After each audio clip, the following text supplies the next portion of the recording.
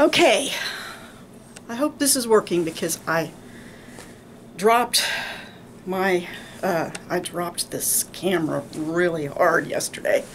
It was uh, on the tripod and mm, slammed it over, so I hope I'm not wasting my time. But anyway, we're going to talk about oligopoly. Oligopoly.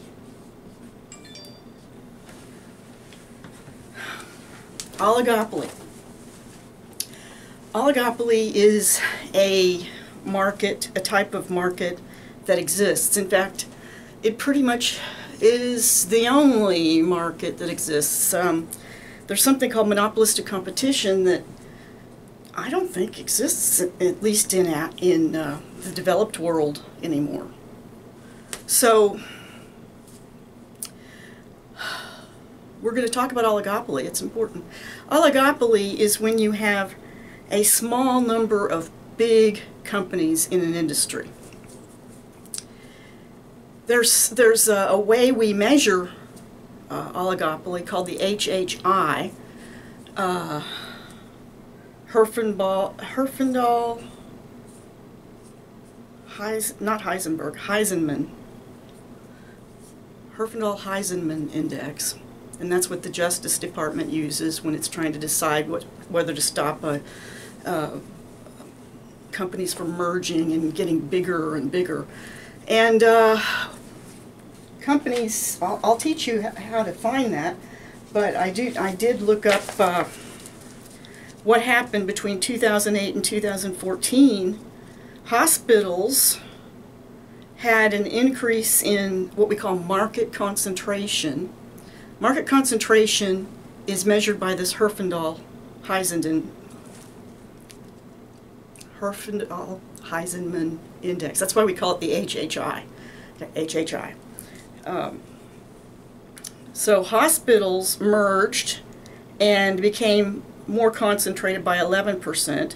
Health insurance companies between 2008 and 2014, all of these are, uh, the level of concentration increased 79%, banking 100%, telecom 101%, airlines 16%. The auto industry actually actually uh, the concentration level shrank and that probably has to do with Google uh, has a new car. They're de they're developing the and uh, who's the other the the other uh, company that's come out that's uh, producing driver driverless cars. Well, that's certainly lowering the amount of consolidation of of market power in. Uh, so auto industry actually went down minus minus 34 percent. The energy industry had a 31 percent increase in in uh, concentration, and the average change was a 43% increase in concentration. Now, what does concentration mean? It means market power increases per firm as we get less and less companies. And we've gotten to this point worldwide where brands are owned by massive corporations and so you think, oh, I, I bought something from Frito Company. well, it turns out Frito-Lay is owned by somebody else, who's owned by somebody else. And there are big, big companies out there. And there's a few massive companies. And uh, so when that happens, this is what we call an oligopoly. So let me show you how to find the HHI for measuring it. Um, H HI, Herfindahl-Heisenman index,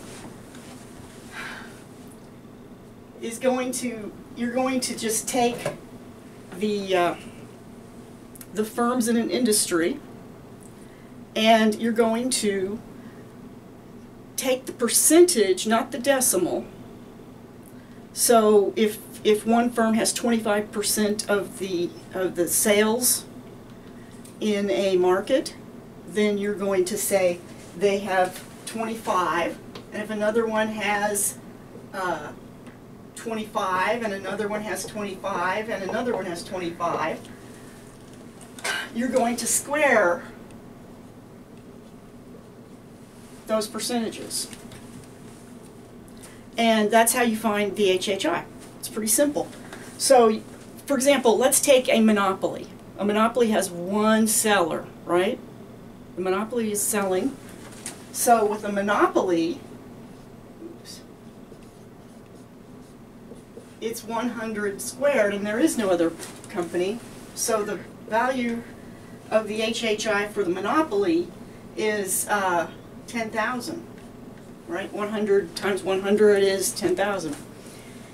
If you have 100 companies all with 1%, so we would have, you know, fairly, I would say if you have 100 companies with, with uh, 1%, um, that's probably a, com- uh, a, a, uh, a very competitive, not concentrated industry because nobody's the big, big, big person. There's no big, big, big corporation.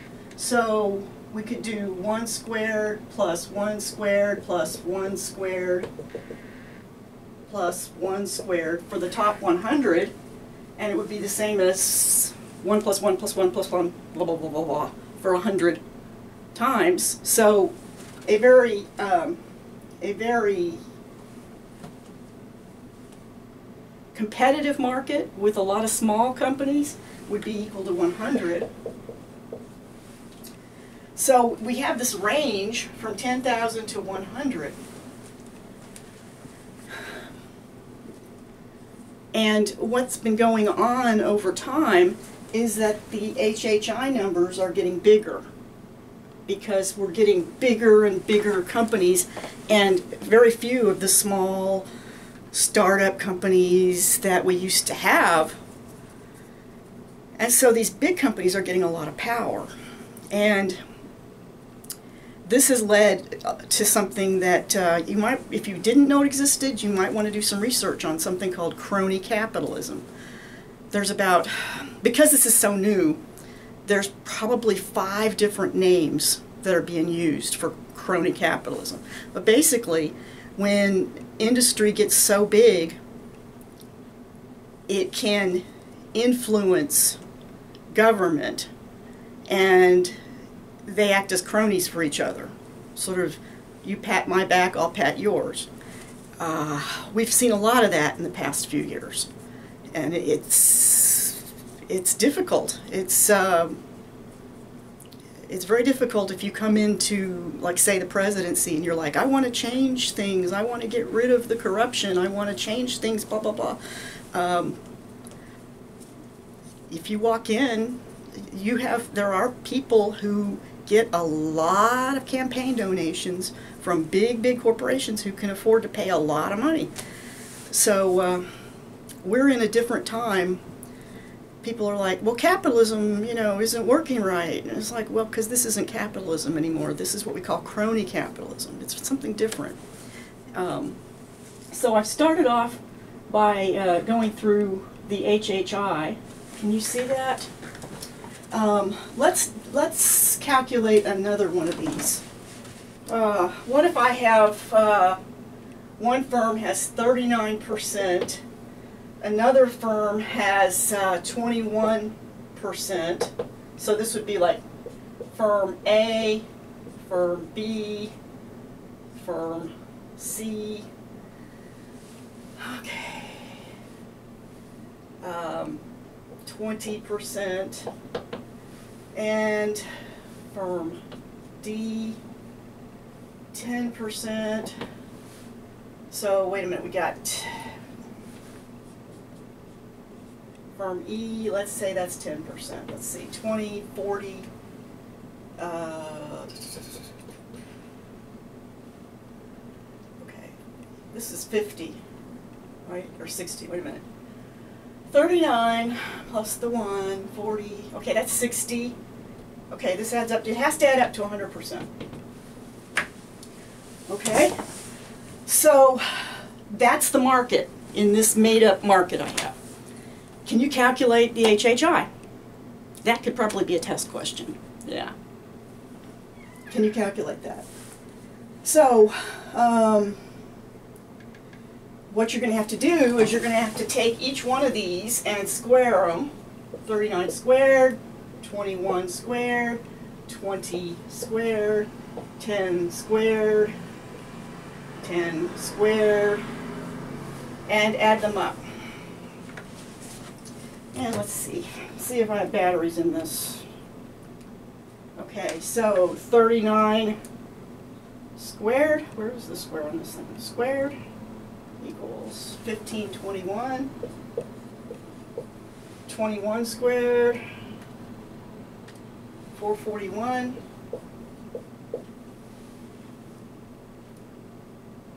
Okay, and let's see, 20 squared.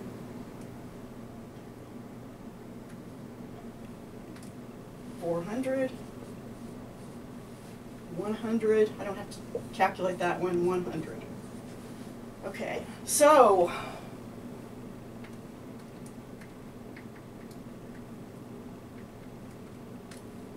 Twenty-five sixty-two.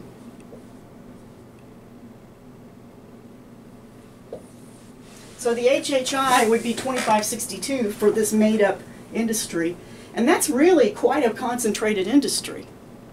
So be aware of that, that, um, that uh, a lot of highly concentrated industries may be around 3,000 or 2,500. Okay? So just, just understand that. And uh, when they get up close to 10,000, we're talking about maybe um, some some industry that's mostly like Pepsi and Coke and you know Fanta and some of these other soft drink companies are just little bitty nothings and everybody else is Pepsi and Coke. That would be an example like the beverage industry would have a very high concentration ratio. Uh, so let me erase this stuff and let's talk about the conditions of oligopoly. So Kleenex. Perfect eraser.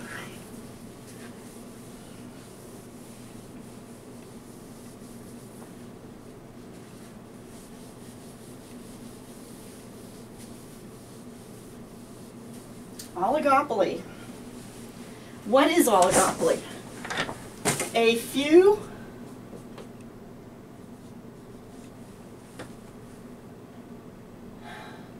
interdependent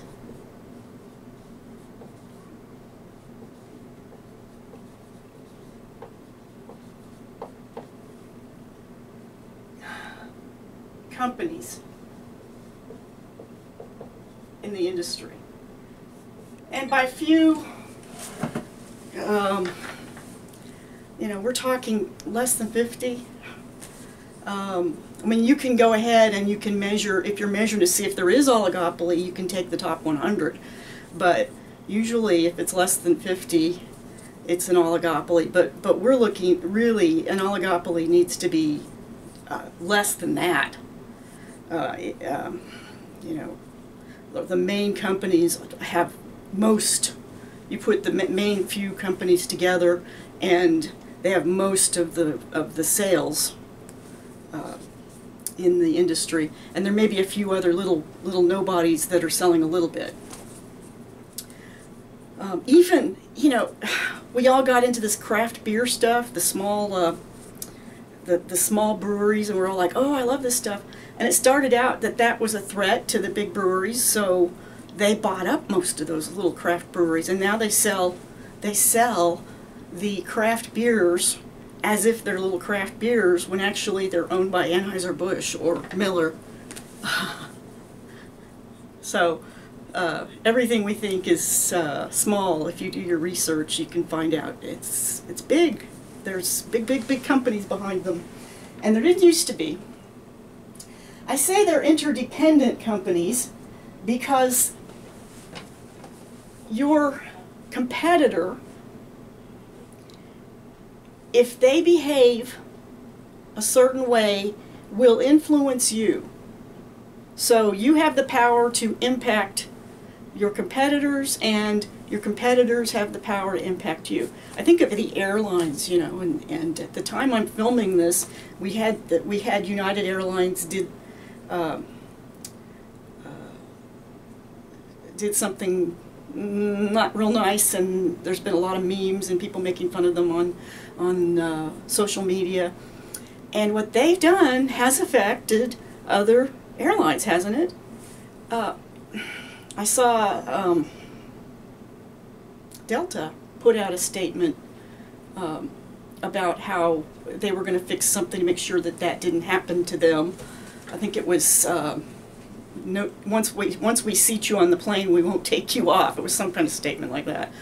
Um, but also, if United does something that makes everybody mad and they start flying Southwest, then that, or Delta or or one of the other few airlines, uh, then we should find that that affects the other company's uh, profit and loss, doesn't it? So everything you do affects everybody else. And there's also this thing they might collude. It's it's it's against the rules to collude.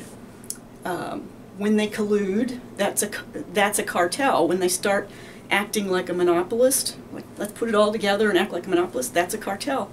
And by now you should know about cartels. They never they never stick together. They always they always fail. But uh, there's there's some fascinating stories of of uh, attempts to collude. Um, Whirlpool was involved in a uh, in a attempt to collude back in the 19 late 50s I think it was the early 60s and a group of companies just a few that were selling they were selling electrical parts. So things for for fixing your refrigerator and your washing machine and your freezer